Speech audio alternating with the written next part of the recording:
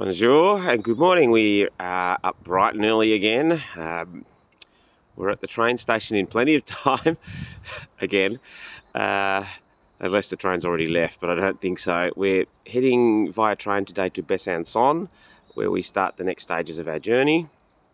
Uh, from there, we'll essentially walk most of the Via, which is very exciting, and we're feeling very keen about that.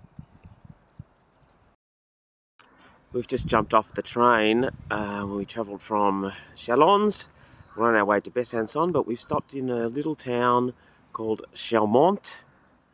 Uh, within like an hour and a quarter, hey Rhonda, we seem to go from flat farmlands to sort of mountainous, hilly sort of country. Uh, and the villages have sort of changed. Very quaint. Yeah, and very historic.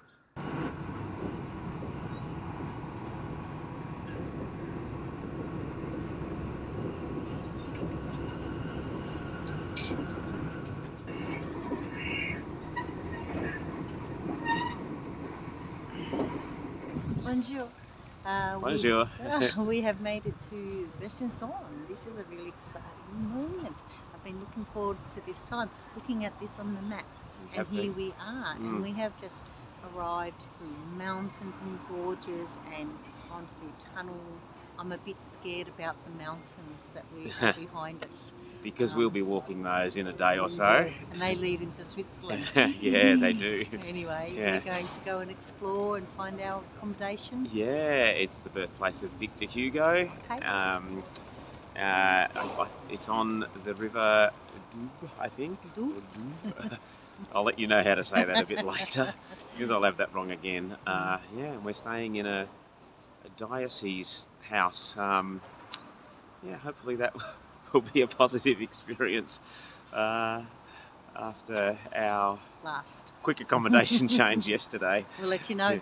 See you Stay soon. tuned. We're just walking over the bridge uh, across the river into Besançon, yes. And this is what we're looking at. Can't just have a look down there. What sort of building is that? It's like a fairy tale. It is, and that building runs right across the top there and back and then down this street. Who knows what we will find? Hopefully, our accommodation. We are in the middle of Besançon, and this is the area that Victor Hugo was born and grew up. Yet to find his statue, but sure I will do soon. This is the street our accommodation is in in Besançon. We're actually staying in an old seminary that's no longer used as a seminary and it's now a diocese centre. Look at these gates. Whoa. Diocese centre that is used as a conference room, conference facility. Um, we'll just have a look here from the outside. Our room is, it is on the third floor, but it's on the other side of this structure. So we'll um, try and take some video from the inside in the morning.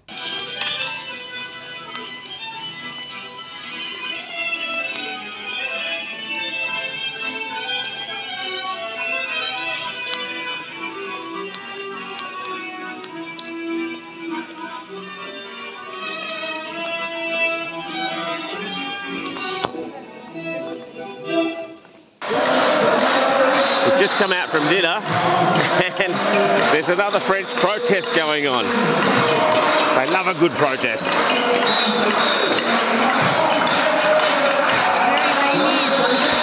It is Les Mis. We are in Besançon too.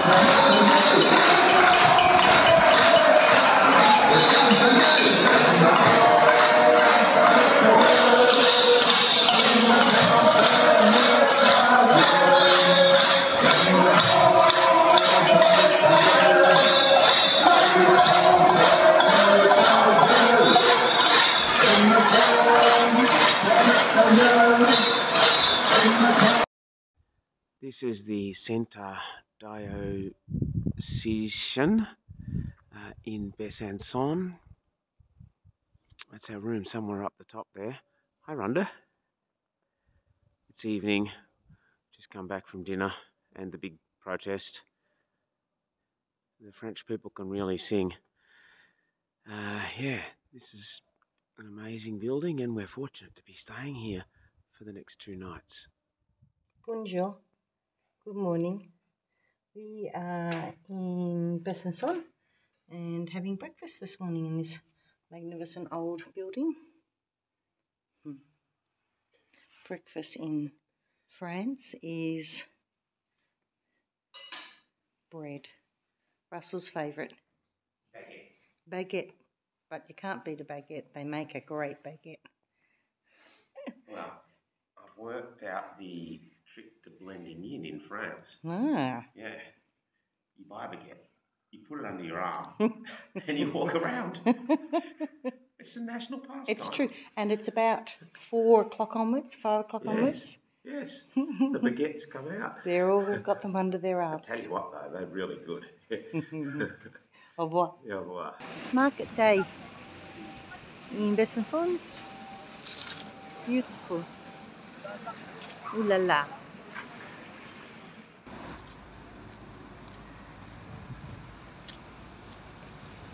We're having a rest day in Besançon before we head off walking through the rest of France and into Switzerland.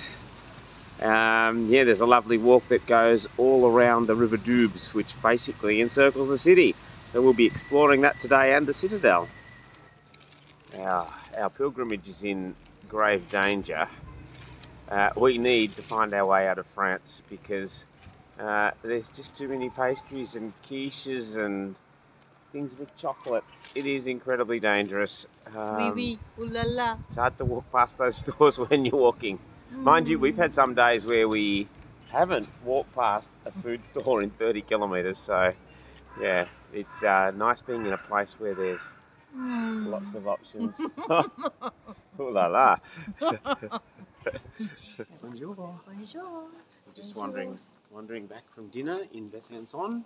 Uh, we've had a great rest day here, haven't we? We have.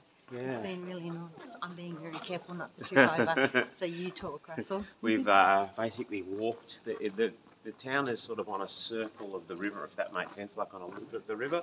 And there's a track that goes all the way around. So we've walked all the way around. We walked up to the citadel at the top. Um, eaten too many pastries. Oh my goodness, Yeah. the pastries. I've even got one in Russell's hand. That's for breakfast. Rhonda didn't have enough, so she had to get another one. It's a citrus Um, one. It's meant to be yeah. healthy, I'm sure. We're hitting the Via again tomorrow. We're heading to Ornans um, and very excited about that. It's supposed to be a very scenic walk. Few and hills. they call Ornans, Rhonda tells me, they call that? it the Little Venice. Little Venice, Yeah. I believe it's called. So I'm really looking forward to that. Yeah, so I'm just going to do a bit of a spin so you can see. Oh, there's a car here, but that's okay. It's just gorgeous. And behind every door, there's somebody's house. And they park. Really nice. All right. Yeah, so stay tuned and we'll be seeing you tomorrow. Really recommend Besançon. It's beautiful. Really lovely.